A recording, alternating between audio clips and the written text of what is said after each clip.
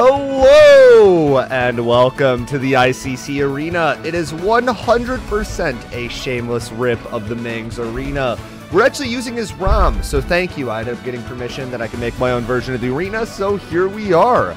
So instead of actually doing live streams and putting gladiators up, I decided that I was going to do something that I've always thought about doing as ever since I was like five years old.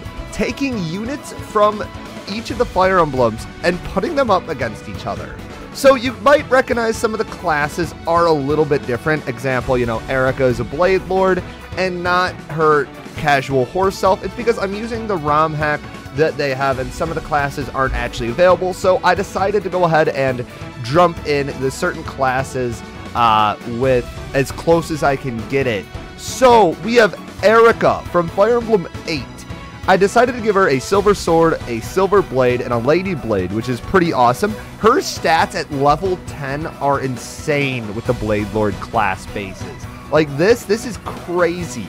Like right now, I know it says she's level 0, but I did a stat calculation of level 10 on just like some basic wiki searches, and this is what she ended up with. Like, it's crazy how strong this girl is. Like, she is super fast, super skillful, and has mediocre. Well, I guess she has really high strength if you really want to go down that route. Now, the one thing I also have to note is that her strength cap is actually really, really low compared to Hector's defense. So I'm really worried about her durability on her weapons, but I think she'll be alright. I mean, she'll end up only doing like 5 damage multiple times in a row, but I think she's alright. If you guys are ready, I think I'm ready. So she has Astra, which is skill activation, which is 30%, which is actually probably her only reason that she's going to be able to beat Hector. But honestly, with how high her skill and speed is and luck, I don't know about that. Um, she also has rightful lord because Eirika is truly the rightful lord of the GBA series, in my opinion. That or Lyn.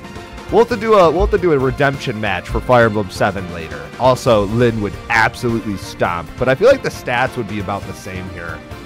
I mean, maybe, maybe. Actually, that's a good one.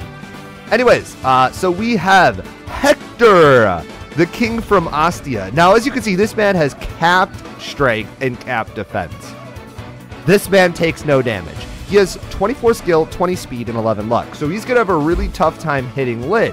However, I gave him Frenzy, so every da- 4 damage he takes, he does an extra point of damage, which is huge for Hector because of his massively large HP pool. Like, this man is so thick, it's insane.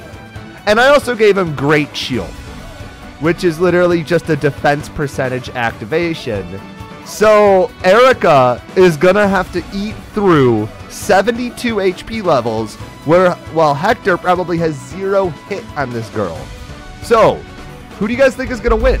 Make sure to comment below and let's go check it out.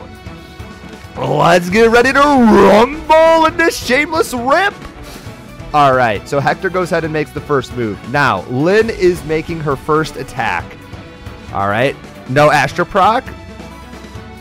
Oh, so Hector, no matter what, is getting two. Oh, and Lyn takes her first hit. Okay, so that's three times five damage. Oh, the Great Shield. Uh-oh. Uh-oh. So, like, we have a little bit of crit. Oh, another Great Shield. The Astra proc is failing. Uh-oh. Oh, man. Dude, there's no way. I didn't realize Great Shield was going to proc three times there. I guess we get to see skills a little bit more uh, realistic here. But with Hector being able to hit twice, but only having about a one and fourth chance to hit, no freaking shot. Is it? Is this over? Dude, can Eirika pull through? Dude, that's crazy. So I ran a test match before this and Eirika didn't even get hit. Uh-oh. Uh-oh. We're in the we're in the final game. He somehow has more hit. Oh, it's the con. Oh no. Honestly, the silver blade switch for Eirika is not the play. Dude. Oh no. Maybe Eirika could pull around if she can dodge twice here, and then we can get like a double Astra proc. I mean, that's all I could see here, because like a double Astra proc with Silver Blade is probably our best bet. Otherwise, I genuinely do not see any other like way of her. Oh, dude, he's going for the killer axe right now. Dude, it's 32, 32, and 21. That's crazy. Dude, if he hits, that's all he needs to do is like Hector just, oh, she's on the pillar. Nope, I think this is Eirika's game now. I genuinely think Eirika just swung it around because like there's nothing, there's nothing Hector can do if if she's on the pillar.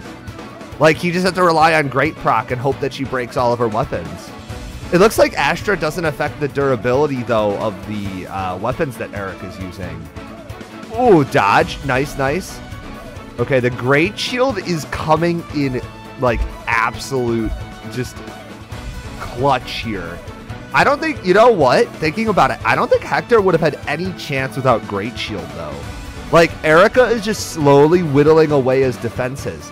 Like, even with the fact, like, even without Astra, and the finishing blow with the 4% crit. Oh, and Eirika cleans up. Now, if you guys enjoy this kind of content, I definitely, definitely, definitely want to make sure that you guys comment down below, and I'd really appreciate it. Let me know if you guys have any matchups throughout the cast that you want. I think I'm going to start doing this a little bit more often. I really enjoy this. It's a lot of fun. So if you guys enjoyed it, make sure to leave a like, comment, and uh, I'll see you guys next episode.